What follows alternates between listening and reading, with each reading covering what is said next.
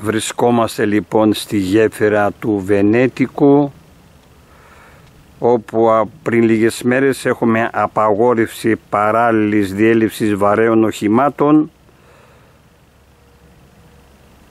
Βλέπουμε καθημερινά εδώ περιπολικό της αστυνομίας να επιτηρεί. Η γέφυρα χρήζει επιγόντως συντήρηση η οποία κατασκευάστηκε τη δεκαετία του 60. Σύμφωνα λοιπόν με πληροφορίες μας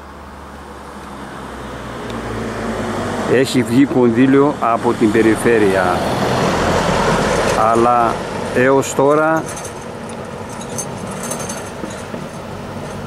δεν βλέπουμε να γίνονται κάποιες παρεμβάσεις. Άλλωστε όλοι γνωρίζουμε ότι είναι χρονοβόρες οι διαδικασίες.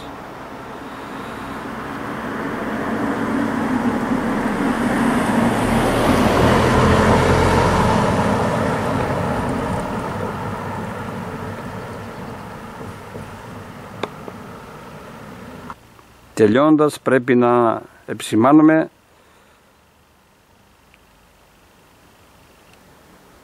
ότι πρέπει να επισπεύσουν οι υπεύθυνοι της εργασίας.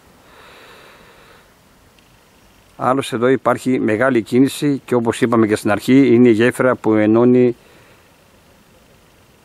την Μακεδονία με την Θεσσαλία.